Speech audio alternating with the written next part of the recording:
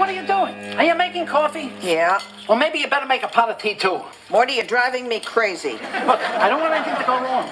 If this woman votes to impeach me, I'll be a laughing stock. You want to drive a Cadillac? Expect to pay the consequences. There she is. Hello, hello, Mrs. Choate. Oh, come Hello. in, come in. May I take your coat? No, no, I prefer to wear it. Nobody's taking my coat. Uh, how about a cup of coffee or something? Coffee. Uh, I'll take hot water with lemon if you have it. Uh, please, have a seat. That's a lovely scarf you're wearing. Uh, where did you get it? Ah, they're a dime a dozen. Oh, hi, Jerry. Mrs. Choate, this is my son, Jerry.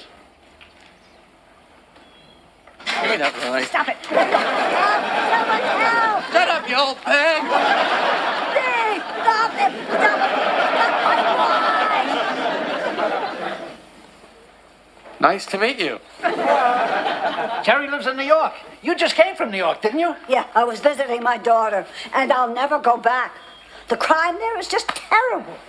Do you know I got mugged for a marble rye right on the street? Oh, that's terrible. They stole a rye. Why would they steal a rye? That's what the city's turning into. They'll steal anything. They're like savages. Yeah, there's some sickos out there. Very familiar. Have we ever met? You ever go to Camp Tioga? Maybe you've seen him on television. Jerry's a comedian. No, I don't watch TV. Well, it was nice meeting you. Jerry, don't go. No, I think I'll go. So, Marty, what is it all about? What do you want?